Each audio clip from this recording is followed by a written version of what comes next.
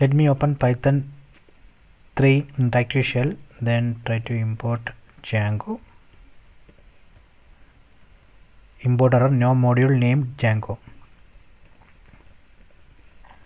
So if you want to install django for python 3 and above first we have to install python 3 pip or pip3 and python 3 dev. So let me install that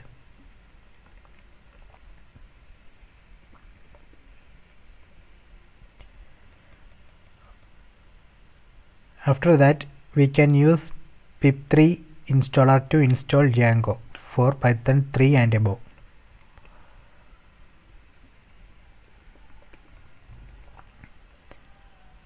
Sudo pip3 install django.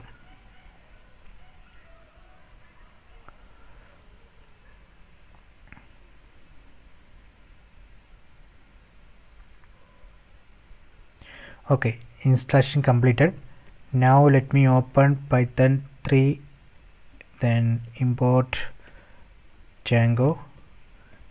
It's working. Let me open python 3.5 and do import django. Okay it's working.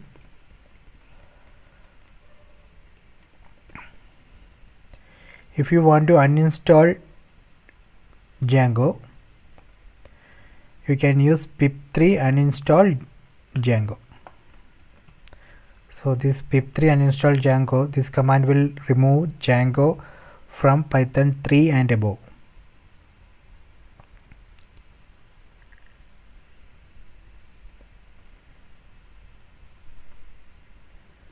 Okay it's done. Now let me confirm that. Go to python 3 and import django see it's removed.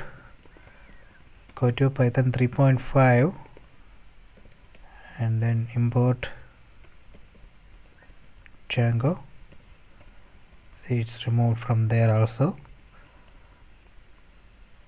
So this way we can install django on python 3 and above